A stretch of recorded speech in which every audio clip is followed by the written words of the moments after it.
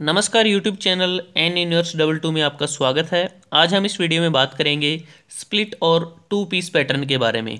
तो जैसे नाम से पता चलता है टू पीस पैटर्न मतलब कि दो पार्ट में ये पैटर्न बना होता है। कह सकते हैं कि दो पार्ट को जोड़कर इस पैटर्न को बनाया जाता है। इस पैटर्न की ज़रूरत हमें तब पड़ती है जब हमारी रिक्वायरमेंट होती है हाई डेप्थ कास्टिंग और हमें मॉडरेट क्वांटिटीज़ में कास्टिंग को बनाना होता है।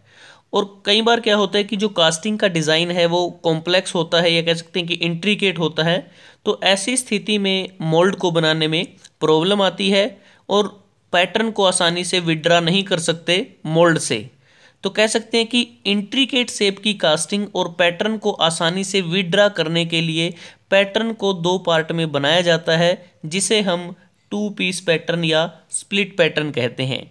जैसे उदाहरण के लिए अगर हम देखें, ये एक डंबल है जिसे हमें कास्ट करना है।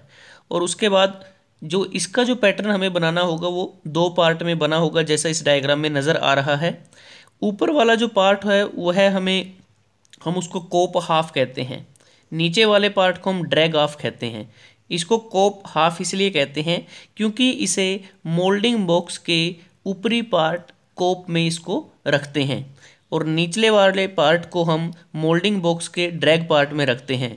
दोनों पैटर्न के पार्ट्स की अलाइनमेंट करने के लिए कोप पर डोवल पिन की अरेंजमेंट की जाती है और इन डोवल पिंस की प्रॉपर अलाइनमेंट हो जाए, इसके लिए ड्रैग पार्ट पर हमें जो ड्रैग हाफ़ होता है पैटर्न का, उसमें होल्स को प्रोवाइड किया जाता है।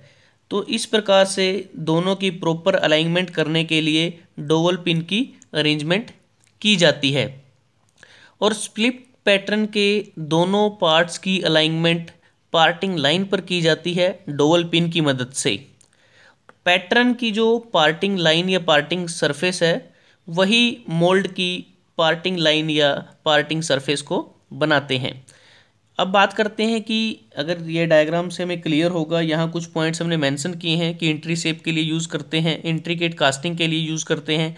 Upper part of pattern cope में होता है lower part of pattern drag में होता है और डोवल पिंस हमारे अलाइनमेंट के लिए प्रयोग होती हैं। इसकी एप्लीकेशंस क्या क्या हैं? कि स्प्लिट और टू पीस पैटर्न का प्रयोग किस लिए करते हैं? कहाँ पर करते हैं? जैसे आप इस डायग्राम में देखें वाटर स्टोप कोक को बनाने के लिए इसका यूज़ करते हैं स्टीम स्टो वाल्व को बनाने के लिए करते हैं टैप को बनाने के लिए करते हैं ए के फोर्टी सेवन जो राइफ़ल है, उसका ये जो स्टोक पार्ट है, इसको बनाने के लिए भी हम टू पीस पैटर्न का प्रयोग करते हैं। इसके अलावा और भी इसके बहुत सारी एप्लीकेशंस हैं।